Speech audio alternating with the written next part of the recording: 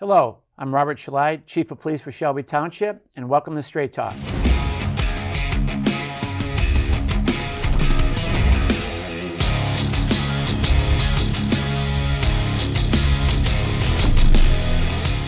Today we have a very special guest, Sergeant Kevin Bailey from our Community Services Unit. Hi, Chief. Sergeant Bailey, welcome to the show. Thank you. Yeah, you're new in our Community Services Unit, huh? Yeah, I've been in the community service for about a month and a half now. Okay, how do you like it? Uh, I'm loving it. I'm enjoying it. This is a uh, great opportunity for me. What are some of your responsibilities? Attention!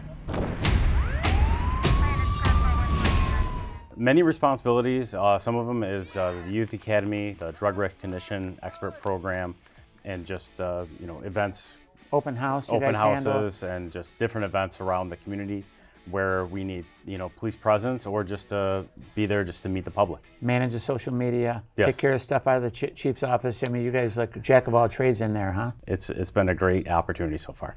I'm glad to hear it. You mentioned our DRE program. That's our Drug Recognition Expert Program. What can you tell our audience about that program? The drug recognition program is for officers that that show the great um, responsibility to uh, arrest uh, people that are impaired by alcohol, and then it's something that they are working towards uh, learning more about arresting people that are impaired by drugs, not just alcohol. Yeah, and it's it's hard to be selected for that.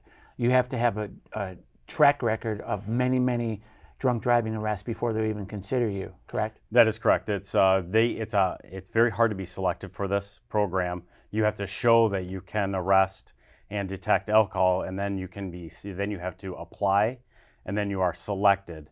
So currently, we only have one officer that met those standards to be selected uh, into this program. And, and this is the Michigan State Police standards. Yes, Okay, and who's the officer that we selected? uh, that's Officer uh, Jeff Simon. Uh, he's ex-Marine. He's highly motivated in alcohol enforcement to the point where you recognize that, Chief, and decided that this is something that to move forward in his career, he can apply for the, the DRE program. He was selected, and uh, he's uh, one of the elite officers that we have to go out and detect uh, drivers that are impaired by drugs. So now he's an expert uh, just because of practitioner with the drunk driving people, but now he can nab the people driving around high on drugs, correct? Yeah, the, these are a lot of this is roadside. So if if we have an officer that may not know what someone is on, can help detect if it's just if they're tired, or sometimes it's even medical issues. Uh, we had a, an issue not too long ago where there was an officer that uh, saw one of one of the drivers that was not acting right. I was on scene. We called a drug recognition expert, uh, thinking that it might have been a, a drug issue, but ended up being a medical issue where we ended up saving that guy's life. He had a uh, bleeding on the brain at that time. Okay, that's that's incredible. Yeah. What happened today? All I know is I had a huge headache, med- uh, he- sinus headache. I took some medication last night that my wife gave me. I kind of don't know medic- what she gave me. You don't know what So, she gave you? Yeah, my head's a little foggy. Okay. But, um, so I, I have no idea what just happened. I had no idea. Sir, are you okay? Are you injured? Yeah, yeah no, I've got a, a headache and that's about it. Okay. And then what happened? All I know is I felt a big bump. I don't know what it was. What do you mean? I just felt a, a bump and that was it. A bump where? On the road? Yeah. Okay. Do you think you hit something? I believe I did, but I don't know what. Okay. And then what happened? Uh, and then I stopped, and then that was it. Like I, I literally, I've got a, a big old, old headache going on, but Okay. I think it's science related. Okay. Do you take any medication for it other than what you I possibly took, I took took last some some Benadryl this morning. This morning? How Yeah. much? two caplets, and that was it. Okay. What'd you take last night? That's what I took was the Benadryl. But Last night? yeah, You just said you took it this morning. yeah, I got yeah, I got a headache, but I took it uh, this morning. I don't remember what time. Okay. That's the bakery. Have you taken any other medications? Bakery. No, No. Do you take any medication for like heart stuff? No. Okay. Um, have you drank anything last night or this morning? no, No, the only thing I've drinking anything was Pepsi. Pepsi? That's what it just shows that this is what it can do. It can show that there's drug impairment and it also can rule out any medical issues that someone may be having. I see.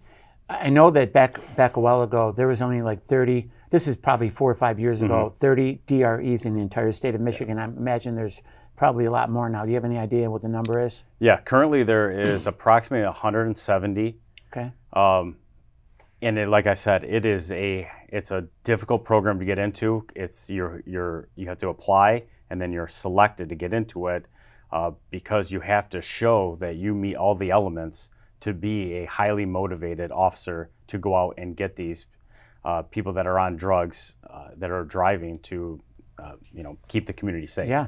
Uh, you- so you said the number 170. I'm pretty sure we have approximately 14,000 law enforcement officers in the state of Michigan.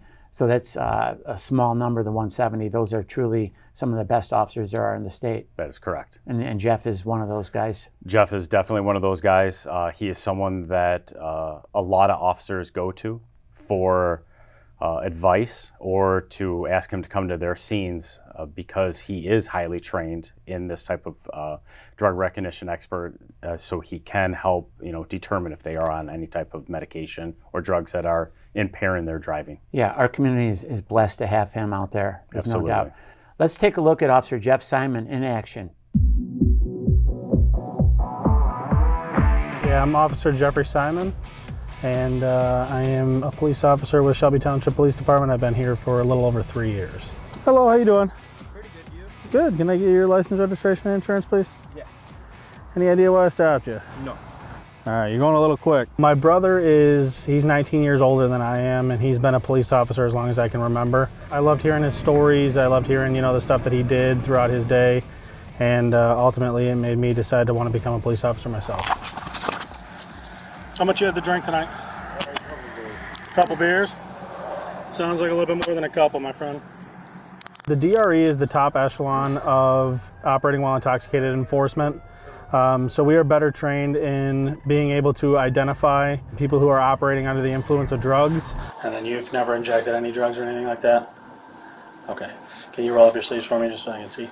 Um, specifically, seven different drug categories. Uh, so the CNS depressants, uh, CNS stimulants, hallucinogens, dissociative anesthetics, narcotic analgesics, inhalants, and cannabis. It's probably an Adderall. It just gives us um, a lot more knowledge on what to look for as far as uh, operating while intoxicated goes as far as drugs. How much have you had to drink tonight? Like two drinks. Two drinks? Yeah. I went Okay. to Tap and Barrel. I'm gonna run you through some tests, Yeah, okay? Go ahead. You're fine. Do you have any head or Let's brain do it. injuries? Let's go. Do you Yep. have any head or brain injuries? No. Okay. Let's go. Any eye things? No, are nothing. On? Let's go. Any leg injuries, No, back pain, nothing. like that. Let's go. You had no idea you were on the wrong side of the road? I wasn't. I was on the right side. Okay. Okay. Despite Uber and Lyft and all that stuff, the numbers have actually at least stayed steady, if not even gone up a little bit, um, as far as you know, drunk driving fatalities uh, and drunk drivings in general. Yeah, Washington one. I'm behind him. He's not stopping. She's going north, guys. She's not stopping. I don't know what it is. I think people get to a certain point uh, in their night where they, you know, they call it liquid courage, and they're just like they feel like they're indestructible and they can drive home, when in reality they're at, you know, a, a .20, which is almost three times the legal limit, and they absolutely should not be driving on the roadways. Do you know your English alphabet from A to Z? Yes, sir. Okay, if I were to ask you to recite it from A to Z without singing, would you be able to do that? Um, pretty much. Pretty much, or yes? Uh, I don't know. I mean, alphabet A to Z. A to Z. A, B, C, D, F, G, H, I, J, K, L, M, N, O, P, H, I, J, K, L, M. I mean, I don't. I mean, I don't know my alphabet that good. They say on average, somebody is driven drunk uh, somewhere in the ballpark of 88 times before they're ever stopped for OWI, on average. Under Michigan law, if a peace officer requests you take a PBT, you do so, or it's a citation. Will you take one? Yeah, I'll take one. Awesome. Yeah? She's got one right here for you. Perfect. Okay, so it's just like blowing up a balloon, okay? Yeah. So you're gonna take a deep breath in. and I'm good, blow it actually. I don't want to do it. Um, are you gonna wait? Can I get my? We'll get everything for you. You sure you don't want to take one? No, but like, why would you pull me like that? Not getting my phone. Because you're jumping around everywhere. I'm, I didn't do anything. What do you mean? I Alright, didn't have a even seat. do anything. That's so weird. I didn't do anything. So personally, I actually don't like to hover around bars. I don't. I don't feel like it's fair just picking somebody off that's walking out of a bar. Um, what I look for as far as driving cues go, um, obviously failing to maintain their lanes, uh, going too slow, going too fast, varying speeds. Honestly, one huge one for me, which isn't even technically considered, one of the cues of drunk driving is speeding. I catch a lot of my OWIs um, just specifically based off of speeding. Real quick, I'm just gonna look at your eyes real quick, make sure you're good to drive. Okay? Okay. You just one beer. That was it? Yeah. Okay. Just follow the tip of my finger, okay? You see the tip right It's here? pretty obvious when you get behind somebody who's drunk that they're drunk. You don't wear glasses. uh, No, sir. So just yeah, just follow this. So the MADD Award or Mothers Against Drunk Driving for the state of Michigan, they're basically a entity um, that they determine who was the most influential when it comes to drunk driving. So my department gave me the MADD Award for our department since I had the most uh, OWIs last year, and um, I also had a bunch of drug recognition evaluations as well. And then so we get sent to the uh, MADD luncheon um, with a bunch of different officers around the state, and you know they they give out awards, even further awards when it comes to um, who was the most influential around the state. Um, so it's a huge honor as far as the OWI community goes um, to receive that award, and it's just something more that we can put in our CV or our curriculum vitae when it comes to uh, being a DRE. So that was Officer Jeff Simon in action. I hope you enjoy that segment. Like I said, and Sergeant Bailey said also, Officer Simon is one of our lead officers. He's out there every day keeping our township safe. Sergeant Bailey, let's talk about park safety. We have several parks in the community. Uh, we take great pride in keeping them safe. We work closely with Joe Youngblood and his staff. What's going on in our parks nowadays? Uh, parks, uh, the, the great thing about the parks is it's very welcoming to our community. We have a lot of things going on. Uh, but one thing is we want to make sure is that the people that are coming here, either that are outside the community or in, in the community of Shelby Township, are enjoying themselves and being safe. So we do want to increase patrols and presence there just to make sure that everyone is having fun, enjoying themselves, and also safe at the same time. By increasing patrols and just being more uh, visible, we're going to be having uh, more officers in the park. We're going to be uh, mountain bikes and uh, just being more welcoming to the public. So, what, what parks are we taking care of in the community? Uh, we have a lot of parks. Uh, hopefully, I don't forget any of them, but I know we have Holland Ponds, we have Mae Stecker, uh, Gene Shepherd, Whispering uh, Woods Park, And then the big and one, then and then River River Bends. Bends uh, that has two entrances. So that place is it's huge, and there's always uh, people from the community walking it and, and just enjoying nature out there. Okay, what are some of the problems we're having in these parks? Uh, one of the biggest problems that we're having right now is uh, dogs on leashes, uh, large dogs not on a leash. Uh, so recently, we put out a video uh, on our social media reminding you know people that are going to be coming to the parks to have you know the the dogs on the leash to make sure that one the people are safe and two the dogs are safe because we never want anyone from our community to be injured or any animals to be injured in. I, I agree with you. So I think it was around three weeks ago when they had this, the splash pad shooting in Rochester Hills, and and we had to make a decision: Are we going to protect our parks or protect the community? Uh, I had to make that decision because the the, the killer, or the, I think the shooter, was Mhm. loose. I think he shot nine or ten people, shot up a bunch of kids and parents at a splash pad a mile from our border. So we were worried that he was going to go to another uh, park. So I talked to Deputy Chief Schmidler. I said, "Do we have enough uh, people to patrol, you know, our parks, guard our parks, and patrol community?" Said, "No, we don't."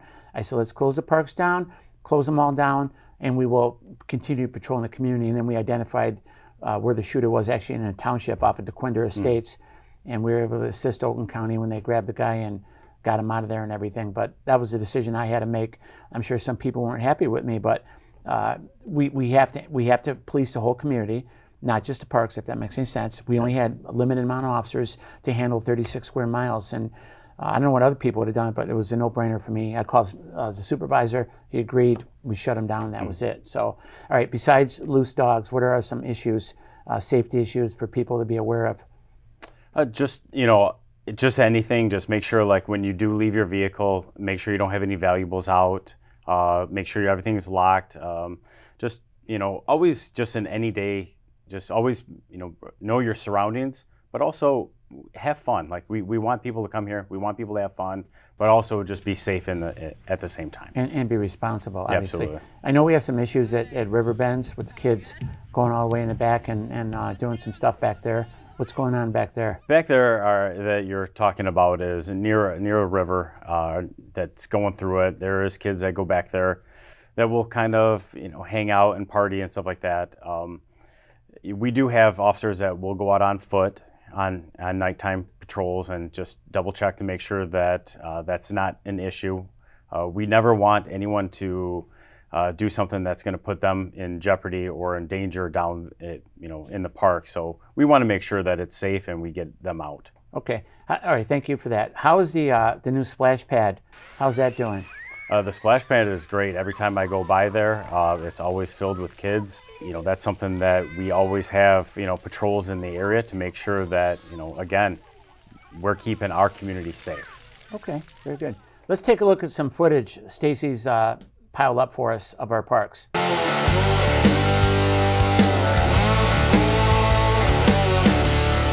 It's important to patrol the parks because we want to make sure that everyone is safe. We want to make sure that our citizens and people that are coming into our area that are going to be safe. We also want to know what's going on in the park, so it's it's always good to have a different view uh, of the patrol from like a mountain bike kind of view. So we have officers on bikes that are going to be riding around and getting more up and close in the area. The kind of issues that we're finding in our parks are uh, sometimes we'll have like juvenile issues. Uh, one one issue that I had uh, that been brought up to me the other day was uh, other motorized uh, bikes that are going to be that are riding on our paths. We're going to have a mountain bike patrol unit uh, that's going to periodically be inside the parks. Uh, we have a, a large park area in Shelby Township, many different parks that have different types of walking paths. There's bike paths. Um, and that will give us the opportunity to get into the parks deeper to make sure that uh, everyone is behaving themselves and make sure that everyone is being safe and having fun at the same time. Another thing about uh, our bike patrol unit is uh, they're more approachable. So citizens feel more comfortable approaching officers on their bikes opposed to in a vehicle. So sometimes it is it is easier for officers to be riding through the park and have someone come up and approach them and may uh, talk to them just about everyday things or about an issue that they may have had. So not only is it a deterrent for crime, but it's also a public relations uh, aspect to it where we can be in the parks and helping people and meeting people.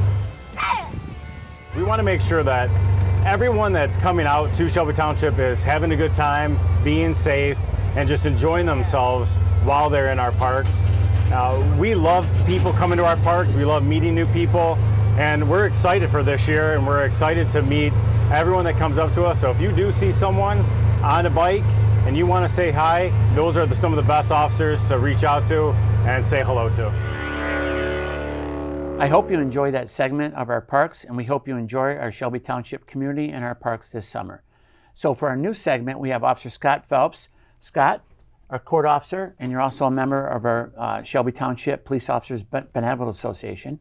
And I think you've been here around at our police department around 21 years. Yes, sir. 22 coming up. Yes. Twen- Yeah, don't ever sell a veteran short, not even a few months. So There you go. 22 year veteran Scott Phelps, one of our classiest officers we have, a, a cho- total gentleman, and we're honored to have you on our show today. Well, thank so you. you know. Thanks for having me. No, I'm glad to have you. So, uh, our, I want you to tell our residents about our Benevolent Association. Uh, why did we start it? What was the purpose of it? And where we're at today? Yeah, the Benevolent Association was set up after uh, Sergeant Dan Camerzell passed away back in 2022. Unexpectedly, we lost him, and after his death, there was a mad scramble as far as um, to number one, figure out how to have a funeral, uh, how to pay for it, and along with how to take care of Dan's family, Jill. um, uh, financially, emotionally, and just just a lot was going on at the time. Um, there was a scramble as far as the funeral to try to get it paid for, and we realized that actually you you had stepped up and got tons of uh, donations from businesses to take care of it. But we realized that if God forbid this were to happen again, if we ever lost anybody, that we needed another another avenue to, to help pay for things. So the Benevolent Association was set up just for first responders to assist with their family during tragic times, whether it was a death um, or maybe a, a, a, medical issue or financially, just anything we can help first responders out. So that was what it was. And, and the support staff, That's not correct. just the first responders, but everybody that works at our place is, is family. Our dispatchers, our civilians, they're just important as, as our first responders. Exactly. Every, Yeah. Everybody that, that works in the building. Yes, sir. Okay, so uh, we've set it up, we got it up and running. How's it doing so far? What, what, what, what plans have we had and what are we doing with it? We've had a, I would say, a very successful first year. Uh, we had a golf outing that uh, we had to tribute Sergeant Camerzell. So we called it the first annual Dan Camerzell golf outing. We had that back in June, and overwhelming support. We sold out the entire outing. We had over 144 golfers and um, raised quite a bit of money. Um, I would say well over $20,000 to put into the Benevolent Association. That's great. That's great for a startup. Yes. And then what are we doing moving forward? We also are planning currently um, in the fall. It's going to be September 18th at Coyote Joe's. We have a, uh, a local band called Family Tradition that is gonna that is actually volunteered their time for us, and we're going to sell tickets and basically have a good night where uh, uh, the band's going to play. Everybody's going to get fed and just have a good time and raise money for the Benevolent Association. I heard the tickets are pretty cheap. They're like $50 a piece. I believe so. Yes. Yeah, and they're setting them up where they can buy them uh, online. I don't know if it's going to be our social media or our Shelby Township Police Benevolent Association link where you're going to be able to buy tickets online. Yeah, But- we're still working through that. yeah. we're gonna. But here's the bottom line: we'll, we'll have it on our social media, the link to make sure people, if they want to buy them. I think there's 600 tickets available, and we're expecting to sell out. Correct? Yes. Yes. So it should be a, a great time and uh, raising money for a good cause. Now, uh, we had a tragedy in our law enforcement community a few weeks ago. Deputy Reckling from Oakland County Sheriff's Department was murdered down in Detroit, and uh, three kids and a pregnant wife at home. And, and Romeo and our, our board stepped up.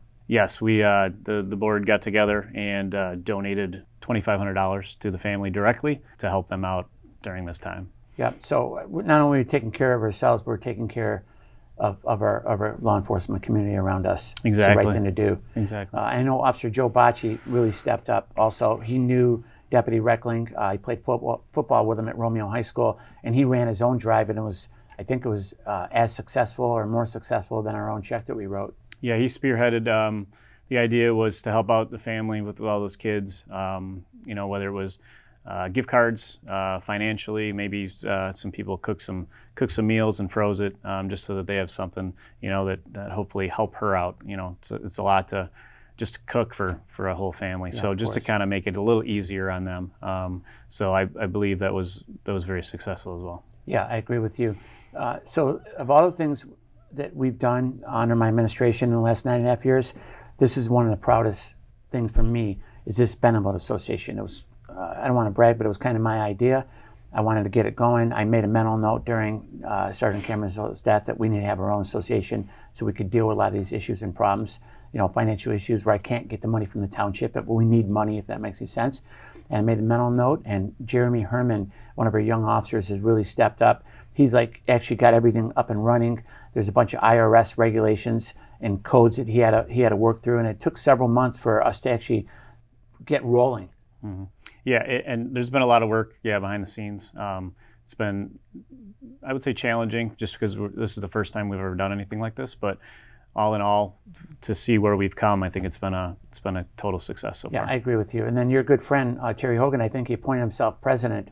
I missed one meeting, and I came back, and the guy's got a title of president, so I'm not sure what happened there, but Yeah. uh, very, very deserving, I should say. Yeah. He, he works very hard for our association. He cares.